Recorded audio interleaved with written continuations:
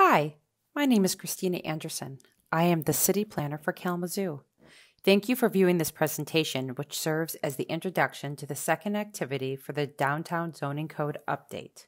Because we are still limited on public gatherings, input for this activity will continue to be collected online and on paper. We began this process in June, and we kicked off with an update of the zoning map by dividing the currently one very large downtown district into three smaller districts. The result of this activity and the questions on the new district's permitted uses and standards make up the focus of our second activity. We also will continue to ask questions regarding the development process. This work will all go before the Planning Commission and City Commission for review and hopefully approval through public hearings. Before we talk about the second activity, I wanted to remind everyone why we are undertaking this zoning code update. First, the city is working and has been working in small sections to update its entire zoning code, which was last updated in 2005. Zoning should support the community's vision as detailed in the master plan.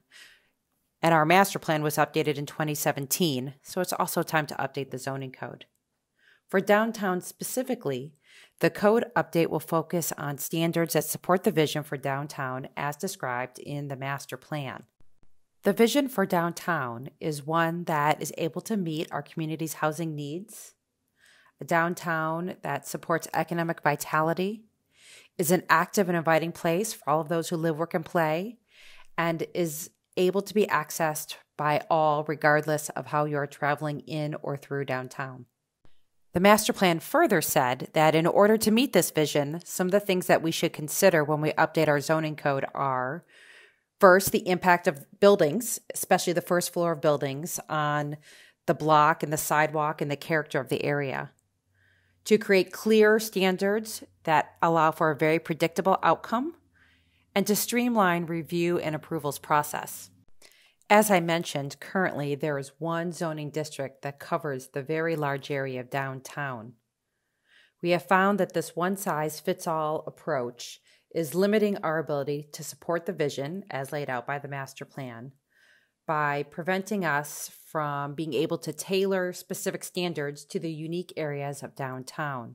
This is why the first activity of our zoning code update was to divide the large one downtown district into three smaller districts that more accurately fit the character, the size, and the scale of the area. This is the resulting map from activity one. On the left, the three districts are described, and on the right is the resulting map.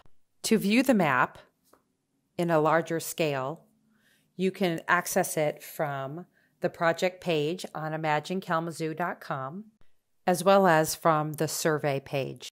From here, you will be able to provide feedback on the proposed zoning map. So, activity two. Activity two, now that we have a draft district map to work from, this activity will focus on the permitted uses and the development standards in those districts.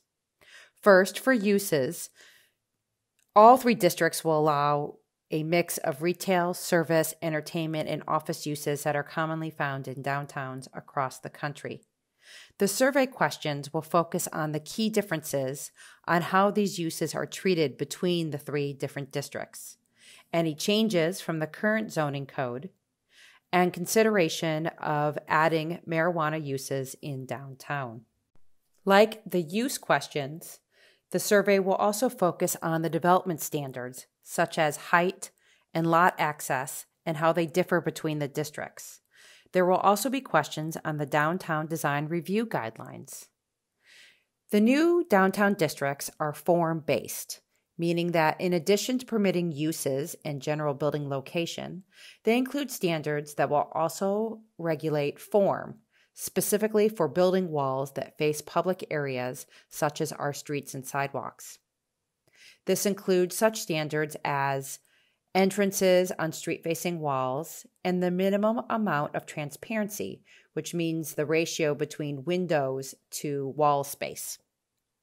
These standards currently exist in the city's downtown design review guidelines and are being transferred into the zoning code itself. Through this activity, a discussion will occur on how to handle the remaining design guidelines, such as those that regulate the permitted materials for a new building. Access to this survey and all information on the project remains available at imaginekalamazoo.com slash projects slash downtown zoning. Thank you again for participating in this project, and please let us know if you have any questions.